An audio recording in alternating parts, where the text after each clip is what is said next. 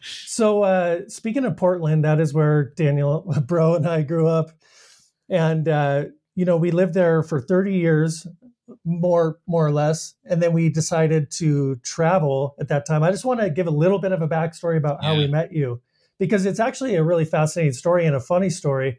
So I'll try and condense it down. We were living in Portland. We were um, trying to get over our addictions unsuccessfully, but trying. And we were researching stuff on health and nutrition and lifestyle habits to become a better person and clean up your act and all this. So that's how we found you online because you were, you've always been prolific ever since we found you online, just constantly putting out videos and talks about health and nutrition. And so I was really consuming your content. And then I heard that you were going to be at a conference in Los Angeles. And so I was like to Daniel, I said, we should go down there and just participate in it, get out and meet some people, you know? And so he said, okay. So we decided to hitchhike down there. We got rid of the few things that we had. We had a little bit of money and we just hit started hitchhiking from Portland down to Los Angeles. And we showed up at this, what was it, the Hilton Hotel? It was Hilton Yeah. Hotel, so a nice, big, clean, bright hotel with like I don't know more than a thousand people there. And here comes Daniel and I, pretty much barefoot and with our backpacks on. We show up at this conference and just start volunteering, and that's where we met you. And there's some other things I want to say about that, but uh, there's something I haven't told you since uh, ever that I wanted to share with you. It's a really funny story about the first time you and I actually met Uh oh. yeah, it was super awkward for me. I, I'm curious if you remember this. So, um, I went to a bathroom in the lobby just to go pee, and I walk in there. Barefoot. Yeah, and I go pee, and then as I'm walking out, you're walking in, and and it, happened so fast. You just passed me, and your eyes went down to my feet, and then your face went like this. you because you were disgusted that I was walking in the bathroom in the barefoot. bathroom barefoot. And and I was like so crestfallen at the time. I was like, "Oh, Daniel Oh. Vitalis like look gave me that gnarly look because I Oh, just man. wanted." To, Well, if you guys had had a pit bull back then, I would have assumed that We you were were- going town to town as crust punks. I remember you guys because you had big backpacks too. Too like you guys were roughing it, and uh, yeah, you you didn't come in looking like um, you'd just been to the salon. That's for sure. yeah, but I, I, just do now wanted, though. I do now though. Yeah, now yeah. you look Yeah. very cleaned up, of course. So anyway, um, I just want to say that that was difficult for me at the time, but I've completely gotten over it because I would have given Obviously. myself the same look because at the time I just wanted to be barefoot and I didn't really know a lot about hygiene, I guess. But to me now, walking into a, and I'm sure the listeners agree, walking into a bathroom, a public bathroom barefoot, I wouldn't do that. Jesus Christ, that is Dude, unbelievable. I've never been to a, a frequently used urinal that's got a dry floor in front of it. Dude, it's insane, man. But that was it's funny. amazing how the stream makes its way back to the person and some of that bypasses the edge of the urinal. And i don't know why we haven't i don't know if people need to stand closer or what but it's always wet. I hate even in flip-flops where you're like oh it's a little close. And you know i think a little context for the listeners i'm like i've been one of those barefoot advocates over the years Right. Yeah. major ones. So uh, i'm sure that was like a little bit uh, added to it a little bit. Like hey this guy's been like promoting this idea and then he's looking at me like i'm a grind bag because i'm Yeah, yeah, you get it. So yeah, we were definitely like, but it, was- we were going overboard with the barefoot thing. It was a bit too much. There's a limit.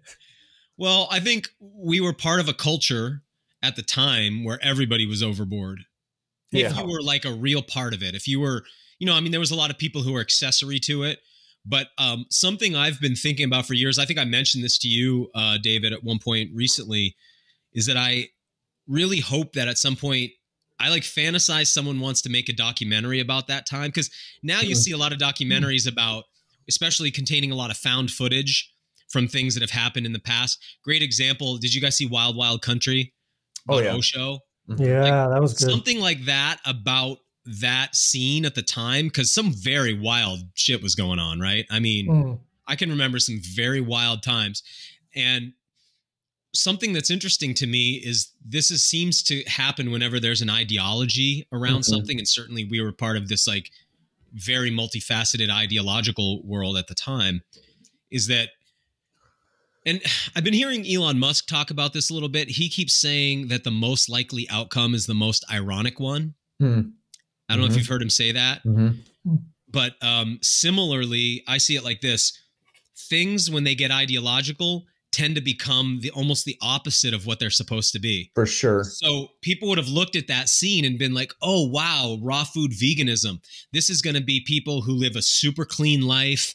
They they go to bed early, they exercise a lot, they take the you the reality was what? Like sex, drugs and rock and roll in that scene. That scene was outrageous and people were doing many healthful practices but the overall lifestyle was pushing people into extreme imbalance. If you were really deep in that world, no one was sleeping and it was just like up all night partying and a lot of tobacco use, a lot of drug use, a lot of, you know what I mean? But oh yeah. The out from the outside everybody thought this was like this puritanical health scene. Oh man, so we were raging it up the, after it's those like if you were, you know, the Osho world, you know, it's like, oh, okay, these are people, it's like a Hindu type of Indian philosophical peace religion but then you see what was going on in the background. They're poisoning people in town they're amassing weapons. It's like things become the opposite of what they're supposed to be when there's a rigidity about the mm-hmm. ideology. Totally and it becomes a mockery of itself and that world we were in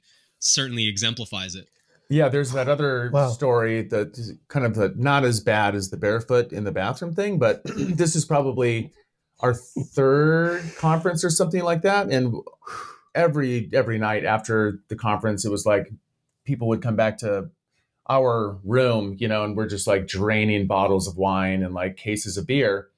And I remember running into you in the elevator. You had just left my room, and we I was coming back from a smoke break, and you were like, "Please tell me you weren't in your room snorting Shilajit." Because we had like powdered Shilajit, and we were doing fucking rails of it. I remember one time at the Eden Hot Springs Hotel, this was the time when everybody was into that stuff called Ormus. Do you remember that? The oh, yeah. rearranged monoatomic elements. Yeah. So I had this little vial that I had paid some ungodly amount of money for this like luminous white, almost iridescent powder. And I come into my hotel room and there's three topless girls snort had broken into my room and they're snorting it.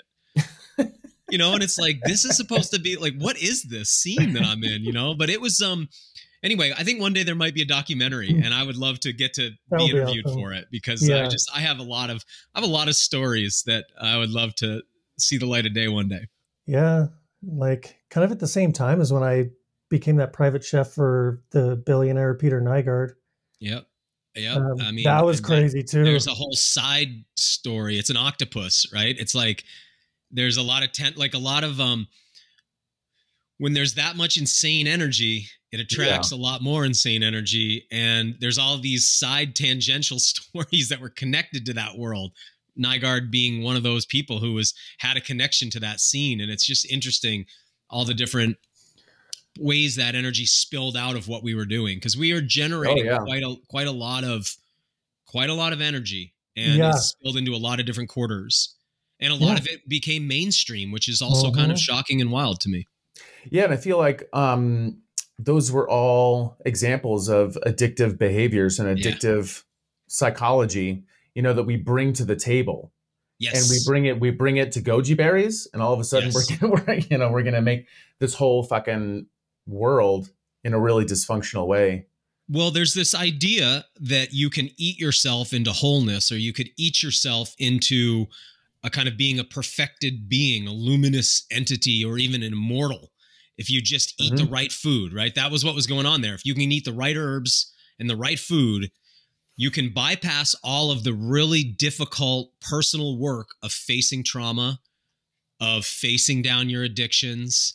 And instead of having to do that work, you could just eat goji berries and shilajit and then you don't even have to think about it right that was almost right. the mentality not mm-hmm. obviously explicitly stated but implicitly mm-hmm. it was mm-hmm. like if i eat the right food and i do the right yoga practice or whatever it is, all that stuff will just get dealt with. Right. And I wanted to say also in reference to your sort of opening statements, Daniel, that because you were talking about how difficult this work is and how you're facing, even though you've done a lot of this and been in this work for many, many years, now you're mm-hmm. facing a whole new round of work. Mm-hmm. Yeah. And I just wanted to say, like, that's why we call them blind spots. Right. And you, because you just don't know. And at right. the time, looking back to myself then, right, there were so many things that I could not see about myself that I get it's cringy to me. I mean, I feel mm-hmm. shame. I like look at myself at the time and things that I would do in the world and I'm just like I'm embarrassed and ashamed that I didn't see myself for what I was. In fact, I had a very um I like had rose-colored glasses about right. myself, mm-hmm. but then I saw lots of bad behavior in other people. Mm-hmm. And it was like I was not even remotely aware of my own contribution to it. Right. You know? And that's blind spots. And so I thought at the time and I've thought this about many things. That was just one thing I've been involved with in my life. But many times in my life, I thought if I lived the right way, I could fix these things about myself. Mm-hmm. And now I know the truth of it. I think it's the truth of it, which is that I have to actually walk through that really uncomfortable, difficult stuff. I have to face down. Mm-hmm. You know, you said like the body keeps the score. It's like I've been seeing a really uh, fantastic uh, body worker here, and he's like a chiro uh, by training, but he's specifically trained in a bunch of these other modalities. And one of the things he does is a lot of X-ray, and then uses some kind of body scanning software, mm-hmm. and so that the work he's doing is extremely targeted. Mm-hmm. I've seen a lot of people over the years who've done willy nilly work on me or whatever. Anyway, I like this because right. it's like I'm looking at the x ray, he's looking at the x ray. We know what needs to change in my body. So he's been releasing some chronically stuck areas, particularly at the bottom and top of my spine. And I'll leave there and I'll be driving home. It's a long drive for me. Hmm. And I'll just have this melancholy come over me. Hmm. And I'm like, what is this, man? My life is, I have a, an incredible wife. I mean, right. I won the wife lottery. I have an incredible job. I mean, I make a TV show that's all just based around what I love. It's like I'm, I'm so blessed. Yeah. I have just an incredible home. I have awesome friends, hobbies, like living a really good life. I don't have anything I'm sad about. And it's like, what is this? And it's like, mm-hmm.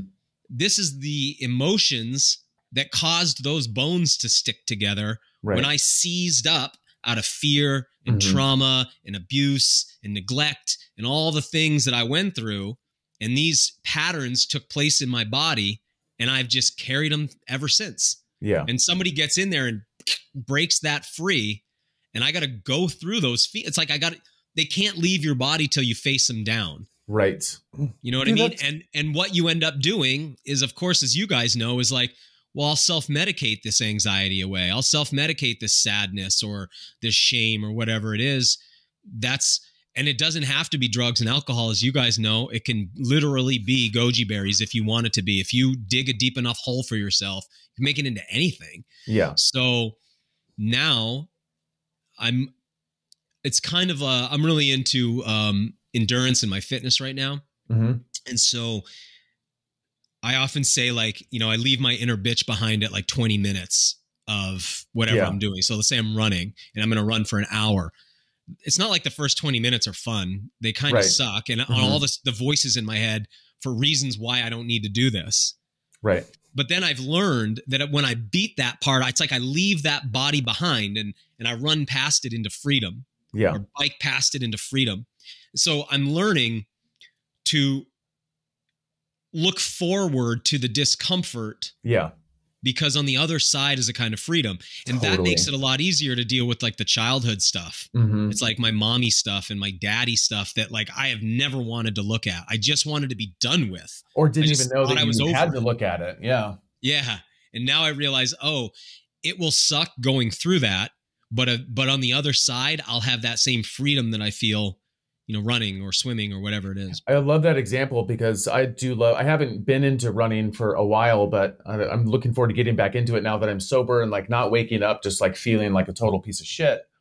Um running i love running for you know at least five to ten miles but you're right for like the first 20 minutes you're just like getting into the groove and then after that it's effortless. Yeah and ecstatic, kind of ecstatic, right? Super so ecstatic. Cool. And I have the same experience when I get into the emotional processing. Mm-hmm. And some of the people that live on the land that I live with, I mean, they've seen me for days, and I'm just sitting under these super tall cottonwood trees, reading this book, sitting in meditation, just processing this stuff. because uh, once you get past that first little hump, the the rewards are just immense. Mm-hmm. Yeah, I agree.